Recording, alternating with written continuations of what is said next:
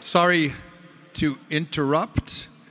This is a very nice cavernous, uh, echoey, I feel like God.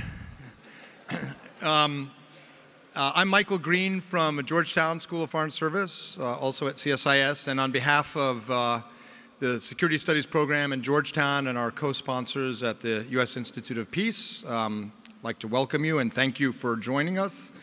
Um, and I'd like to now uh, take the opportunity to introduce our very distinguished uh, luncheon speaker uh, during this conference on China.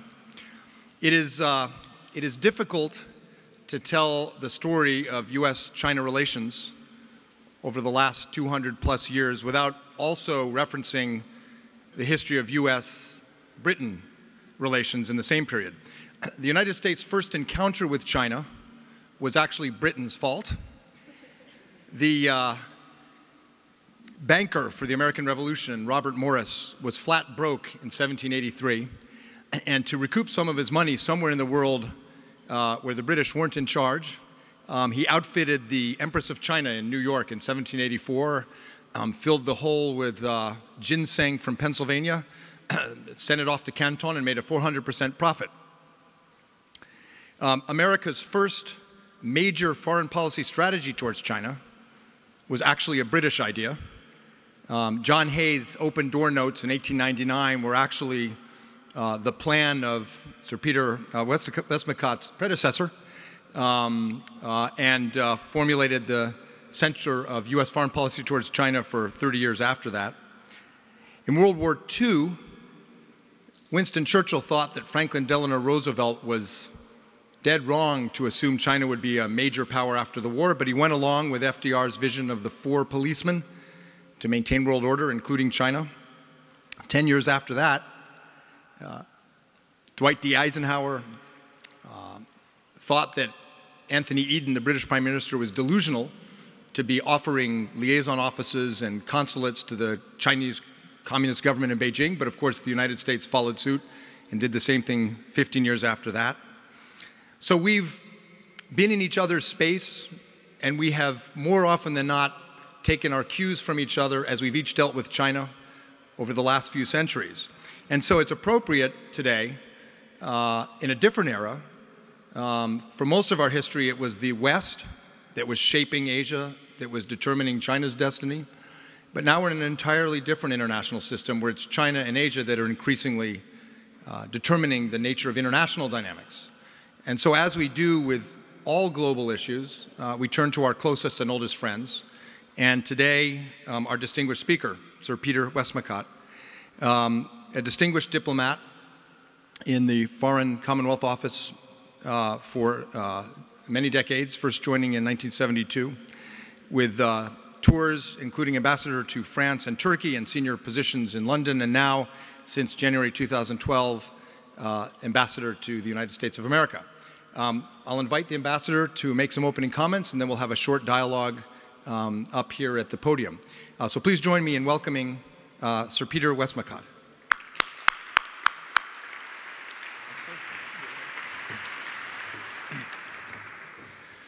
Well, Mike, thank you very much. Um, I've never set foot in this building before, so it's a great treat to be here, and I'd like to thank the Institute of Peace and Georgetown University for giving me the opportunity to share a few thoughts with you. Having spent quite a lot of years of my diplomatic career in both Iran and Turkey, I'm well used to hearing that everything is the British fault. Um, when I was in Iran, they used to say that if you lifted up Khomeini's beard, it said underneath Sachte Inglis, which means made in England in Persian. So we were held responsible for an awful lot of things that went wrong in different parts of the world. But you might wonder uh, what I'm doing standing here talking a bit about uh, Britain and China and China's role in the wider world. And it is true that I've spent most of my time in other parts of the world, apart from Iran. I've been ambassador in Turkey, I've been in France. I've served in both those countries a couple of times and here, and I am absolutely not a sinologist. Two, days, two decades ago, however, I did have the privilege of taking part in some of the negotiations for the handover of Hong Kong, and I've been in China a couple of times since then as a line manager for heads of mission, and also when my then boss, David Miliband, who is often in Washington these days, had the rather brilliant idea of asking a group of senior British ambassadors to spend a couple of days in Beijing uh, four or five years ago on a brainstorming of a number of current foreign policy issues, which was a great privilege. So I feel I've got some right to express a few views uh, on the country, but more importantly, the rise of China, I think, is now a subject which is far too important to ignore. Both the United States and the United Kingdom are, in my view, genuinely global players economically and in terms of our security. Our friendship, bilaterally, involves matters that range far beyond our respective borders. At my embassy here in Washington, I've got, for example, dedicated policy teams handling regions as far flung as Europe, Middle East, and of course, Asia. And I've also had the pleasure of discussing regional and global issues from time to time with my Chinese counterpart. When he was in China in December, my Prime Minister, David Cameron, said that China's rise is one of the defining facts of our lifetime. And we feel that as strongly in London as people do here in Washington. Strong China, of course, is not a surprise to anyone. One fifth of all human beings on the planet live there, and as Henry Kissinger likes to remind us, China's economy has been the world's largest for 18 of the last 20 centuries. China lies at the heart of a region that's increasingly central to the interests of the UK as a trading nation, as a global financial hub, and as a leading member of the Security Council of the UN and the European Union.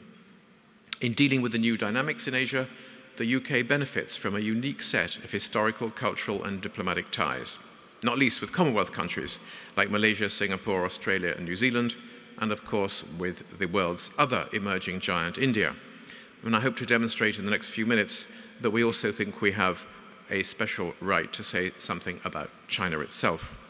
The history of my country's relationship actually goes back a little bit further than Mike was saying. Not long by local standards, just 377 years. In 1637, the first Englishmen turned up on Chinese shores, and like descendants after them, they sought to trade with the Middle Kingdom. But the methods of these red haired barbarians, as the Chinese called them, left a little to be desired by modern standards of good trading practice and diplomacy. River forts were attacked, and Guangzhou was in fact left with no option but to trade. Later on, 150 years later, 1793, there was a mission called the Macartney Embassy, which tried again and got so bogged down with imperial protocol that it left with its hands largely empty. Sino British relations have come a long way since then. Like the United States, we have long since realized that we have far more to gain from China's success than from its failure.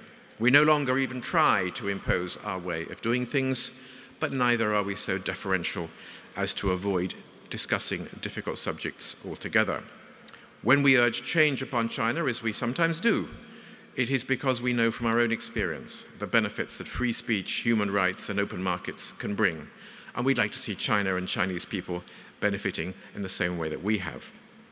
When he was in China just uh, four months ago, David Cameron took with him six senior ministers and representatives of more than 100 British companies.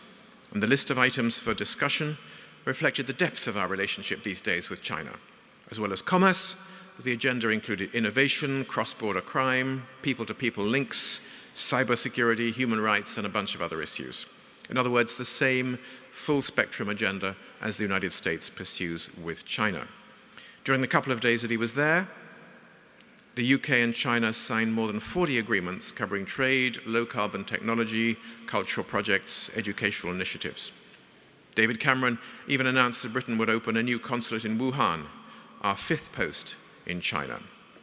He started his own Sina Weibo account, which prompted one member of the British Embassy to post his own comment Big Boss comes to Weibo. Premier Li even noted that the relationship between China and the United Kingdom was indispensable for both countries, which, as you can imagine, made us feel better. A few days after he left, a Royal Naval vessel, HMS Daring, arrived on the Shanghai Bund for a goodwill visit hosted by the PLA Navy. So we've come a long way in our 377 years. Since 2010, since the present British government came to power, the UK has been investing strongly in its diplomatic network in China and actually throughout Asia. We're one of very few European countries with an embassy in every ASEAN country. By the end of next year, we will have opened five new diplomatic posts in the region. We have increased by 50% the number of Mandarin speakers amongst our diplomatic staff in China, and we have added 60 new staff to the missions that we have got there, a bigger increase than we have done in any other part of the world. We've also built up our specialist Asia teams in Brussels, in London, and also here in my team in Washington, as I was mentioning, which reflects how closely we work with our American and European partners on these issues. Economically, our relationship with China also continues to mature. Between 2005 and 2012, our trade went up 150%. Admittedly, like lots of other Western countries, we still have a substantial trade deficit with China. But our exports are increasing faster than our imports, and they almost doubled between 2009 and 2012. China recently overtook the United Kingdom as the biggest market for the British car maker Jaguar Land Rover, who will be opening a new factory in Changshu next year to, to serve the local market. But I perhaps should add that with sales in the United States going up by 15% last year, Jaguar Land Rover doing pretty well in other markets as well. The UK is both the largest European investor in China and the largest destination in Europe for Chinese investment. Chinese companies have invested in airports, nuclear power stations, and other bits of the infrastructure of our economy. We do not view these investments as a threat. On the contrary, investors to the United Kingdom are welcome, whatever their nationality, so long as they obey British law and international law. We believe in a level playing field, and we think that should apply as much to Chinese investors as to anybody else. 58 Chinese firms are listed on the London Stock Exchange. London handles 60% of renminbi trading outside Hong Kong. Uniquely, firms based in London can now apply for licenses to invest renminbi directly into China. So we feel that London is playing its part in helping to advance the renminbi's emergence as a global currency. We also enjoy a unique historical, cultural, diplomatic, and economic relationship with Hong Kong. We know that Hong Kong is important to China too, not least as a gateway to the world for Chinese companies. Since the handover in 1997, Hong Kong's development has been a continuing success story, not just for the United Kingdom and for China, but for the international economy more generally. Last year, Hong Kong ranked second in the World Bank's Ease of Doing Business Index, benefiting from a potent combination of China's dynamic economy and strong rule of law. And Hong Kong still handles one fifth of all China's foreign trade. It's in the interest of both China and Britain that Hong Kong is well governed. The best way to preserve its immense strengths is through a transition to universal suffrage in 2017 that matches the aspirations of its people. We don't think there's any perfect model for democracy, but we do think that the people of Hong Kong are entitled to a genuine choice and a real stake in the outcome. In the economic reforms agreed by the third plenum, China's leaders have decided to allow markets to play a decisive role in setting prices, strengthening regulation in the financial sector, and establishing the next generation of free trade zones. We like to think that the UK's experience and expertise can help put those decisions into practice. At the end of last year, we had a Sino-British symposium to discuss the possibilities. There's a lot to gain all round. Despite the fact that China's outward investment has more than tripled since 2007, the country still possesses vast untapped potential. China's economy is three times the size of ours, but its overseas investment stock is less than one third. On a broader level, talks are underway on a bilateral investment treaty between China and the European Union. Ultimately, we'd like to see a full EU China free trade agreement. China is not, of course, a member of the Trans Pacific Partnership, TPP, but we think that that deal, along with its transatlantic cousin to which we are so attached, TTIP, as complementing European efforts to improve trade and business links with China. If the members of TTIP and TPP bring their regulatory standards closer together, many Chinese manufacturers will no longer have to produce multiple versions of the same products. One reason why, according to independent estimates, TTIP alone could add $140 billion to the GDP of countries outside the transatlantic area. Today's trade routes circle the globe. International prosperity depends as much on East Asia's security, stability, and freedom of navigation as on the region's economic success. We encourage China's growth as a responsible security partner, both in the region and around the world. The search for flight MH370, which has involved many countries, including my own, the US and China, has shown that our armed forces can collaborate peacefully in the Asia Pacific region. Further afield, China has been an important partner in the unprecedented multinational fight against piracy in the Indian Ocean. China is an international power of growing consequence. It's addressing that role, we think, with increasing seriousness and beginning to see the benefits that accrue from more engaged multilateralism. China, for example, has been a key participant in the Iran nuclear negotiations. It's worked to help resolve the brutal conflict in southern Sudan. Like many others in the international community, China is also facing up to hard choices in framing its policy on North Korea as well as on Ukraine. Clearly, though, we still have our issues. Tensions in the South and East China Seas worry the United Kingdom and Europe as much as they do our friends here in the United States. Others in the region are concerned about China's greater assertiveness and what they see as a lack of transparency in its military development. We think that the best way of dealing with these issues is to engage frankly and constructively. The United Kingdom doesn't take a position on the underlying issues of sovereignty in those seas, but we do encourage all countries in the region to build mutual trust, work for stability, and settle disputes in accordance with international law. Here, too, our voice complements that of the United States. Like America, Britain wants to strengthen the rules based international system. That doesn't mean seeking to impose our ideas on China. It does mean working with China to shape the international order bilaterally, but also through institutions like the United Nations, the WTO, and the International Monetary Fund. As my friend and our very distinguished Deputy Secretary of State Bill Burns noted in a speech to the Asia Society a couple of weeks ago, out of today's crisis in Europe comes an oppor important opportunity, a powerful reminder of the enduring value of commonly accepted rules of the road and a regional architecture of cooperation that will benefit the entire Asia Pacific. And he added a little bit later all countries, big and small, stand to lose if rules are devalued, dialogue breaks down, misreading and misinterpretations multiply, and fear and tensions spiral. We too profoundly hope that out of present tensions, important lessons will be learned. Among the most urgent of the international issues we're facing is climate change. The world needs China to act on the environment, just as we need other big emitters like the United States and the European Union to take action. People of China know better than anyone the urgency of dealing with pollution in air and water. Environmental degradation is estimated to cost China almost a tenth of its GDP and suppresses life expectancy in the north by more than five years. Here, too, the United Kingdom sees itself as a natural partner for China. We were the first country to set legally binding emissions targets. We are a leader in renewables and low carbon economic growth. Already, the UK and China are sharing expertise on offshore wind power, carbon capture and storage, low carbon manufacturing. China, the United States, and the European Union are respectively, as we all know, the world's first, second, and third biggest emitters. All three are increasingly aware that substantial progress on a binding global deal can't be made unless we agree amongst ourselves. And last month, the European Union hosted bilateral summits with heads of government from the United States and China and agreed to strengthen cooperation in this area with them both.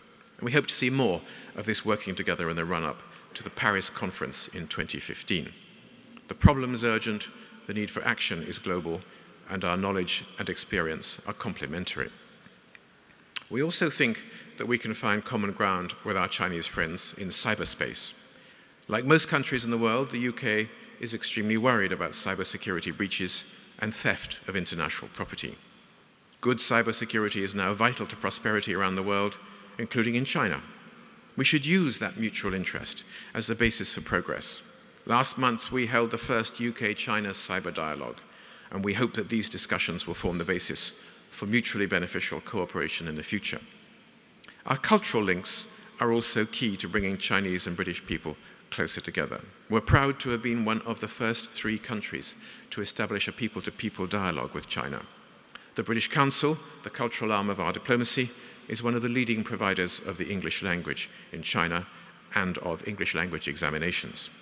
Almost 300,000 Chinese tourists visit Britain every year, despite the fact that in Mandarin slang, Big Ben is sometimes called a big stupid clock. British television exports to China went up 90% in 2012 alone, thanks in part to China's insatiable appetite for Downton Abbey.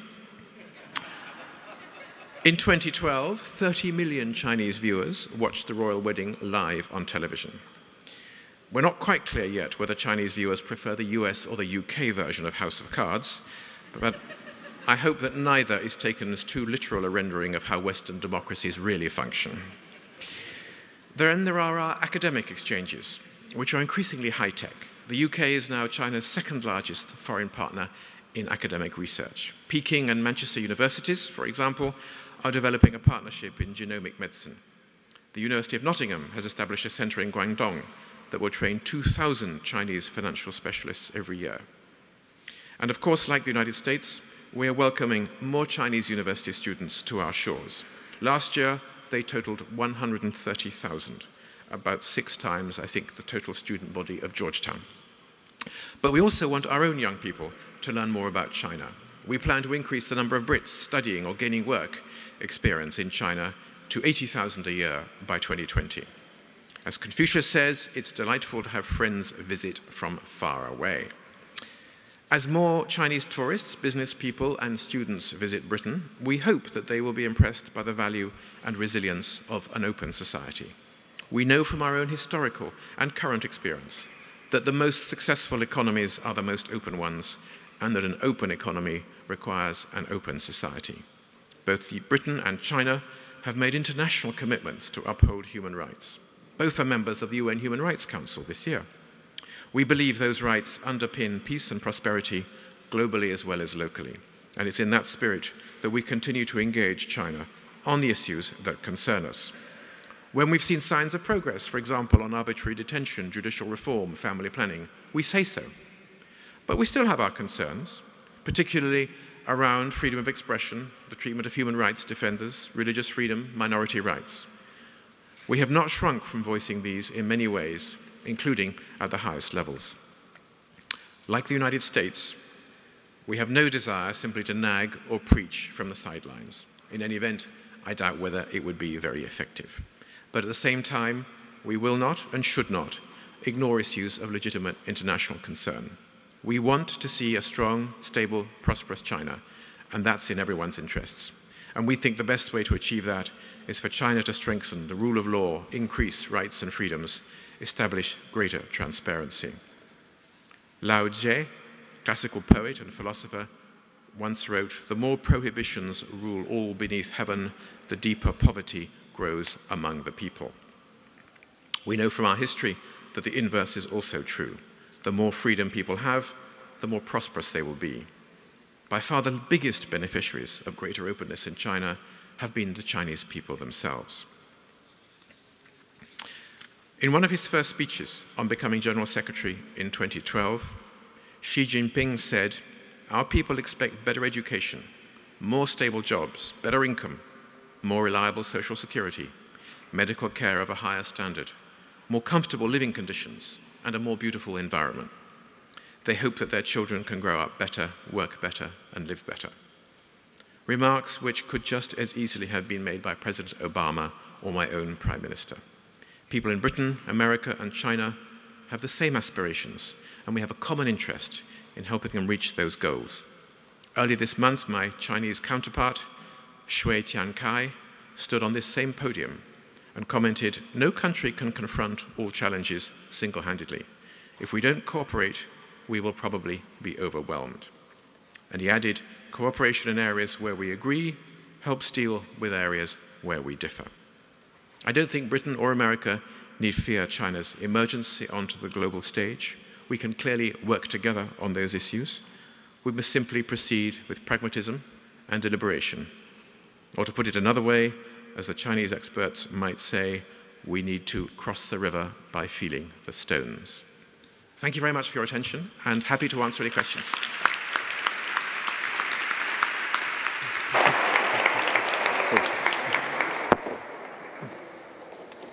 Um, thank you, Ambassador. That was excellent. And um, we have uh, about 15 minutes, I think, for some discussion uh, up here at the podium. um, I was struck by your comment that, that Britain, like the United States, has a full spectrum relationship with China, from cyber and nuclear issues to people-to-people exchange, um, uh, human rights, North Korea, trade. Um, and uh, there are a few countries in that club, and it's a, a very comforting thing for the United States that, that, that, Britain is one of them. And we have certainly come a long way from the early uh, 1780s when American diplomats sent to Canton were instructed to make sure the Chinese knew that we were not British and that we were much more reliable. And the Chinese court records show that the Chinese figured out that indeed we were not British, that we were very earnest, but we were somehow dumber. I want to ask a few things. I was very struck at your um, linkage of uh, TTIP, the Transatlantic uh, Trade and Investment Partnership, with TPP, the Trans-Pacific Partnership. Um, and uh, the uh, idea that uh, an EU-China uh, free trade agreement, not just a bilateral investment treaty, but a free trade, a free trade agreement could someday become a reality. And it occurred to me that um, we have potentially a convergence of these major trade agreements. Um, right now, China, of course, is not in TPP and, of course, is not in TTIP, but TPP is premised on agreements in the Asia-Pacific Economic Cooperation Forum that we would move towards a free trade area of the Asia-Pacific that would notionally include China. So it's interesting in China in, in the last year or two how the debate has evolved from seeing TPP as some kind of um, in, uh, encirclement or containment uh, framework, and rather more like the WTO, an opportunity for China to use um, external uh, developments to leverage and get change and reform within and to uh, and benefit as the way you described it from um, standards across the globe. so I wonder if you could say a bit more about how you see the evolution of of, uh, of, of, all of these things, TPP, TTIP. Is there room for China? And if so, is it going to take so long we need to think a little bit differently about a framework for cooperating with China and um, harmonizing standards in the meantime? Because in our Congress, I can tell you, um, as you no doubt know, these trade agreements are like going to the dentist with no Novocaine. So it may take some time for a formal Chinese participation, but are there things, is that the right direction to go? And are there things we could all be doing with China in new frameworks to get us closer? Well, we think it's the right direction of travel. I think you're quite right, Mike, that over the last um, year or so, thinking in China on all this has evolved. I remember hearing from Chinese friends deep expressions of concern when we first started talking about TTIP and because there was also TPP which was going on and there was a sense of potential exclusion. Uh, was this all about ganging up against China and so on? And I think that thinking has evolved. And certainly we think that even for those countries, China obviously notably one of them, not directly involved in these free trade negotiations, there is the potential of enormous economic benefit. The figure that I gave in my remarks just now is an estimate of you know, what the economic advantages can be if we are able to use these global free trade negotiations as a means not just of reducing tariffs and improving bilateral trade between the signatory parties, but also setting global standards on different issues many, uh, and products, many of which are, of course, uh, manufactured in China. That means lower costs for consumers. It means more single product lines. It means that we might one day, for example, agree that an, uh, a turn light on a motor car sold in America could be orange as it is in Europe or red in Europe as it is in America. I prefer orange myself because I think it's safer. But you know, there are. And, and, why can't we have the same uh, standards for airbags in America and Europe, which we can't apparently at the moment? But maybe one day we will have if TTIP becomes a reality. So I think even for those who are not in the room of these negotiations, uh, there are major benefits, especially for big manufacturing countries, um, from lower costs, um, more limited product lines, and the setting of global standards and mutual recognition also of professional qualifications uh, from which we can all benefit. And indeed, putting together global regulatory frameworks which can make, I think, trade uh, uh more attractive and should uh, facilitate the more growth at the global level. Our sense is that at a time when global economic recovery is so fragile, which it is at the moment, even though we're quite proud of the fact that the IMF tell us we're going to be growing at 2.9% this year, which is better than most Europeans, you know, where are we going to find this growth in jobs and security um, and more wealth? Answer through knocking down the barriers to trade. It's win-win uh, the economists tell us that we could look to somewhere between 1.5 and 2% additional net GDP growth on both sides of the Atlantic, leaving aside uh, the TPP Pacific Rim countries, if we had a comprehensive free trade agreement. That must be a, worth, a prize worth having, particularly when you think that Europe and the United States, for example, account for half the world's GDP between them. And that's, you know, that, that's just one of the two negotiations. So we think it's going the right way. Uh, we hope that this will get going. Uh, we'd like to see fast track authority granted by the United States Congress before too long. It doesn't really matter too much that it's not there now, but we hope that later on, perhaps after the midterms, who knows, maybe even before, though that's perhaps unlikely, that we will see that. And that will be a clear indication of intent, I think, from the United States that, that the US as well is serious about this business. How do we manage uh, global governance um, now with uh, not just China, of course, but uh, uh, South Africa, India, Brazil, and so forth. But China is the biggest and, and most uh, challenging and uh, fastest growing. How do we manage global governance? We grew up, most of us, in a post-war world where the G5 and then the G7 managed these large global financial, economic, and even political issues. We've democratized that, reflecting the distribution of economic power to the G20 um, you spoke favorably of China and Asia having a larger share in the IMF, which I uh, appreciated. I'm not sure that's a consistent view across Europe, but it's important. But at some point, do we lose something um, by uh, expanding the membership and losing the core values that um, the US, the UK, the original members of the G5 and G7 brought to this management of the global economy? And it comes up when people debate whether or not, for example, China should be in the International Energy Agency or in, uh, in other places? How do you, what's, what's the right balance? How do we time that? I think, I think this global architecture, global governance issue is, is an enormous challenge for all of us. Clearly, those who were not at the top table when we put in place the present architecture after the Second World War are beginning to ask themselves some questions, well, why them and why not us? Um, we have got the rise, the emergence of, of major powers, big economies, who are understandably saying, well, we think that we should be part of these big international organizations as well. I don't think any of us uh, feel that we should oppose that trend. Uh, we want to hang on to the values which are dear to us and which are represented by, we like to think, you know, the core membership of a number of those organizations that you value. Uh, we want to have more free trade. We want to ensure the Security Council of the United Nations is able to do its job. Um, Equally, we have to adjust. We've had to adjust on a de facto, if not a de jure way at the moment, the G7, G8 in response to events in Ukraine. Recently, we have to be flexible. We are looking at uh, the revision of uh, IMF quotas, IMF reform, which we think is important. Actually, I think it's important for the United States as well. It got stuck in Congress uh, recently when it got tied up with a number of other issues, including financial support for Ukraine. But we think that is the right way to go. And we are open, uh, provided everybody else is content with it, with the concept of a degree of Security Council and United Nations reform. How and, uh, and at what speed and with which countries we need to go uh, cautiously and ensure that, as you say, we don't lose what is valuable. But I'm quite sure, my government's quite sure, that we do need to adjust uh, the global architecture to take account of these new realities, not least uh, the enormously important role which uh, China can play, and, and, we like to think will want to play uh, as it assumes a greater sense of international responsibility in the years to come. We, on security, finally, we have um, close cooperation, closely aligned interests. I was in the NSC uh, in the Bush administration when we had a very difficult negotiation with the North Koreans in Pyongyang in 2002 in order to send our cable back to Washington. This was when the North Koreans revealed to us that they had this uranium enrichment program. We used your mission in Pyongyang. um, and so um, FCO, uh, your embassy here, knew the results of our negotiations before our State Department did. Um, we have that level of trust and Doesn't often happen. I have to complain though, we had been negotiating all day with no food. We went to your mission in Pyongyang. We did the cable, and the only thing the ambassador could offer us was single malt whiskey. No one complained about that.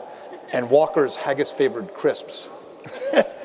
um, Walker's Haggis favored crisps were not crisps. were not exactly the thing we'd been envisioning in our, in our hunger. Anyway, we're that level of, of cheek to jowl cooperation.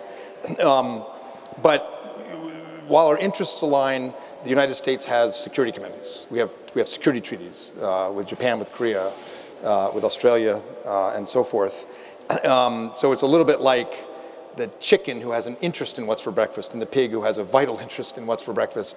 Um, so President Obama um, made a very robust statement of support for the U.S. Japan alliance in Tokyo. Very robust. I think our friends in China were a bit surprised. How can Britain and Europe more generally uh, contribute to, if not resolution management um, and um, de escalation and uh, some confidence building in some of these island disputes? You said clearly, uh, and I uh, appreciated this very much, that, uh, that uh, the UK shares our interest in diplomatic resolutions and so forth. But um, is there some role you can imagine for Europe or for Britain, either in the ASEAN Regional Forum discussions or um, in the uh, ASEM, US, uh, excuse me, EU, uh, Asian discussions or other ways to help lean in with us to try to calm the situation? I think that is what we uh, should be doing, and I think that is what we are trying to do. We don't have exactly the same treaty obligations in the region, although we do have in Southeast Asia anyway the five power agreements, of which the United Kingdom is a party. Uh, but I think that we lend our weight collectively in the European Union and bilaterally through the exchanges that we have been having and the visit of my Prime Minister that I mentioned uh, at the end of last year. And we've had a bunch of very high-level visitors since then, uh, senior ministers and our people-to-people -people dialogue and, and other exchanges. We can use the links that we have got to try to reinforce those same messages. Uh, that is to say, we're not addressing quite the same questions of uh, alliance commitments and so on as, as, the President was, but we do share very much his view that where there are issues, where there are disputes, they should not be resolved in any way unilaterally, uh, that there should be dialogue and discussion, uh, that there is every advantage in de-escalation, uh, and in not immediately reaching for the militarized solution to this. So we are talking to all of our friends in the region as well as your friends in the region uh, from that very same perspective. We don't think that uh, there is anything to be gained from increasing of tensions, whether it's the South China Sea, the East China Sea, uh, or of other sorts, reactions to different uh, policy decisions and statements from different governments. We know there's a complicated history, um, but we think just as we in Europe have had to put complicated and difficult history behind us, uh, it is time for the countries in the region to do so as well. So I think the links that we've got, those business links, those political links, those indispensable, to coin a phrase, relationships that I was touching on just now, we aim to use those in order to convey precisely the same messages that the President has been doing, the Vice President has been doing on their recent visits. And I think that the, the closer we are able to engage and to discuss and to show understanding of the different issues and both sides of the story, hopefully uh, the greater the possibility of these issues being resolved in a manner which is much less tense and of achieving a degree of de-escalation. Well, thank you, Ambassador. It's um, encouraging that we are both pivoting to Asia uh, together. um, 10 years ago, um, the transatlantic relationship hit, hit the shoals over China policy because of the EU arms embargo issue. Um, uh, Washington did not want the embargo lifted. There was strong moment, momentum in the, in the European Union among member states to lift it. Britain played a critical role in bridging that gap. I think it's, it's essential for all of us that um, the US and Europe um, are um, speaking with one voice uh, it, it, in both senses of our relationship with China. The hope uh, for success, uh, for a more comprehensive and positive relationship, but the importance of maintaining um, diplomatic answers to international problems um, and uh, effective rules for governing trade and investment and so forth. And um, you've conveyed that very effectively today. So on behalf of Georgetown and CSI, excuse me, Georgetown and, and uh, USIP, um, I think CSIS and, and, USIP have the same architect. It's uh, spectacular here. Spectacular. Um, uh, so on behalf of Georgetown and USIP, uh, thank you very much. Thank you. Thanks for having me. Okay. Appreciate it. I better run away. Thank very you very good. much. Thanks. Thanks.